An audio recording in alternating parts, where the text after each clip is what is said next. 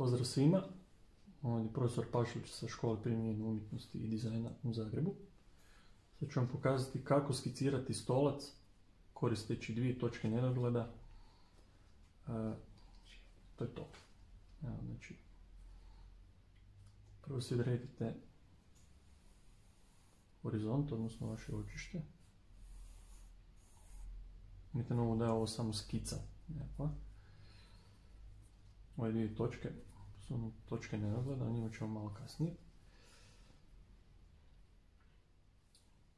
Mi ćemo spustiti jednu okomicu. To će biti središte našeg stolca.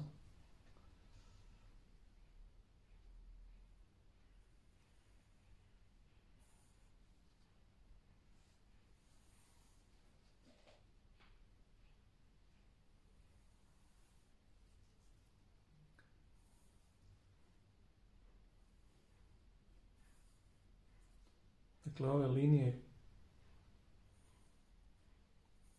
koje sam povukao, ove kose linije, one zapravo označavaju kut pod kojim vidimo stolac u perspektivi.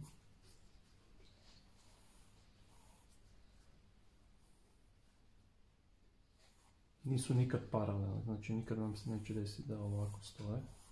Ako pričamo o crtanju sa dvije točke nedogleda, to su nam ove.